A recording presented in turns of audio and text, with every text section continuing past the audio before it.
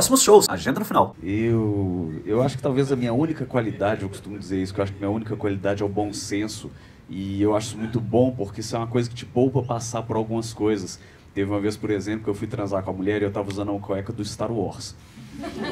Essa ainda não é a parte do bom senso, nós vamos chegar lá. Só que aí a gente tava lá e tal, tava com a cueca do Star Wars. E aí na hora que ela tirou a minha cueca, eu pensei, mas eu não fiz. Uom. Eu podia ter feito, sabe? Veio aqui, eu quase falei, mas não, vou guardar pra falar no palco depois, é melhor, é melhor. Sabe aquele negócio, ah, você perde o amigo, mas não perde a piada? Amigo a gente perde, sexo não, que é mais difícil de conseguir. Falei, vale a pena não. Tem umas coisas também que a gente passa, né? Eu lembro uma vez que uma mulher me mandou um nude, aí eu fui, respondi pra ela, mandei um nude pra ela. Vocês acreditam que ela me bloqueou? Não, aparentemente foto de cu não é tão popular assim. Não é todo mundo que gosta. Fiquei impressionado. Eu, apesar que assim, eu fico fazendo piada com sexo, mas eu, eu, sempre fui muito bobo. Nossa, eu era muito bobo quando eu era mais novo, então eu sempre fui muito inocente. Custei para pegar as maldades da vida e tal. E aí eu lembro que teve uma vez que eu dei um azar, que assim, uma das primeiras vezes que eu fui fazer sexo foi com uma mulher muito mais experiente do que eu. E aí teve uma hora que a gente estava lá e ela virou para mim e disse: Me dá leite. E eu, em toda a minha inocência, respondi: Mas você vai querer puro ou com Todd?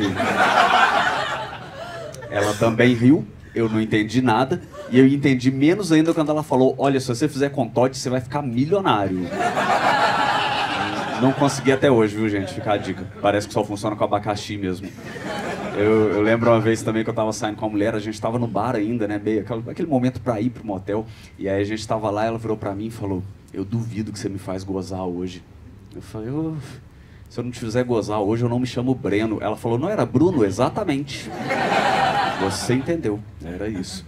Eu, tem, tem umas coisas que a gente passa também. Outro dia eu estava precisando fazer um exame. Liguei na clínica, né? E era um exame meio específico. Ela precisava fazer algumas perguntas para mim antes de marcar o exame. E ela perguntou um monte de coisa. Aí a última pergunta dela foi: O senhor por um acaso faz uso de oxigênio?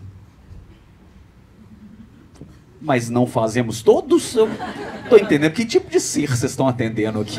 Com, com quem eu tô falando? Só, só pra eu entender exatamente o que tá acontecendo aqui. É, as pessoas às vezes falam os negócios sem pensar, né? Um amigo meu uma vez, ele tava escutando música no fone de ouvido. Aí eu fui e perguntei pra ele, ah, que tipo de coisa que você gosta de escutar? Ele, ah, eu gosto de escutar tudo, então vai tomar no cu.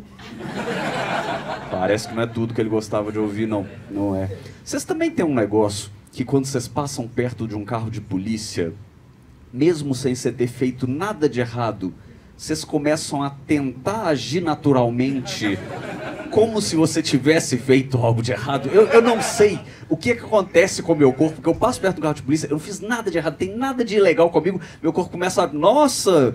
Como eu estou agindo naturalmente, hein? Não tem nada de ilegal no meu bolso. E realmente não tem. A gente, é, a gente é muito idiota. É, é igual por que, vocês já repararam isso? Aquele pessoal que, tipo assim, todo mundo é, é meio assim. A pessoa tá comendo alguma coisa, o negócio está estragado. Ela vira para você e fala: Nossa, isso aqui está estragado. Experimenta. Não, eu não sou um imbecil. Por que, que eu faria isso? Não faz nem sentido. Eu, eu costumo sempre falar que academia para mim é igual sexo, não faço. Apesar que eu tô brincando, academia eu comecei a fazer. É, tá, tá mais simples. E, e, eu lembro que o primeiro dia que eu fui na academia, o instrutor virou para mim e perguntou: Ah, mas qual que é seu objetivo aqui? Aí eu falei para ele: Não, eu quero ficar monstrão. Ele olhou bem pra minha cara e falou: Mas já tá, não? Achei muito pouco profissional da parte dele, inclusive. Só que aí depois eu falei com ele, não, eu quero crescer mesmo, então ficar grandão, não sei o que. Ele perguntou, ah, e quantas vezes por semana você pretende vir? Ah, tem que vir? É por isso então que não estava funcionando, isso explica muita coisa. Teve é, uma, uma das primeiras fichas que ele montou para mim, inclusive, ele colocou supino, né? Aí eu virei para ele e perguntei, ah, quantos quilos que eu coloco? Ele falou, não, faz só com a barra, se tiver leve, você coloca peso depois. Eu falei, hum, faz só com a barra, se tiver leve, você coloca peso depois. Toma seu cu. Fui lá, botei quinzão de cada lado. Não sei o que vocês estão rindo, fui lá, ó, pá, mandei ver. Inaugurei uma categoria nova, é a série de 1. Resolve ali, tá tudo tranquilo. Agora tem umas coisas também que a vida ensina pra gente. Eu lembro que teve uma vez que eu tava na academia e aí um cara me deu uma olhada e assim, eu deu, deu pra perceber que você sabe, quando a pessoa tá te olhando, tipo, ah, te reconheceu de algum lugar e tal. Mas eu falei, porra, não vou lá conversar com ele, vou falar o quê? Não faz sentido. Só que aí uma hora que ele foi fazer um exercício perto da máquina que eu tava, ele virou pra mim e perguntou: Ah, você quer aquele cara do vídeo? Eu falei, sou eu mesmo, que vazou chupando um cara na academia? É, é uma dica pra vida, gente. Não interrompam as pessoas. Ser educado te salva de muita coisa. Agora, tem um negócio que é muito difícil, que eu não sei se vocês já passaram por isso, que é, é muito difícil você transar com uma pessoa muito religiosa. É um negócio muito difícil. Teve uma vez que eu fui com uma mulher para um motel e ela era muito religiosa. E aí aconteceu que eu virei para ela e falei, tipo assim, nossa, mas a sua bunda é maravilhosa. Ela falou, maravilhoso é só Deus. Quebra um pouco do clima. Só que tem um lado bom, tem um lado bom pelo menos, que depois eu falei, não, mas seu corpo é perfeito. Ela falou, perfeito é o senhor. Falei, muito obrigado. Nem sabia que a academia já estava fazendo efeito. Galera, muito obrigado. Sou o Bruno Costoli e recebo para continuar essa noite com essa mesma saúde de palmas. Vem pra cá.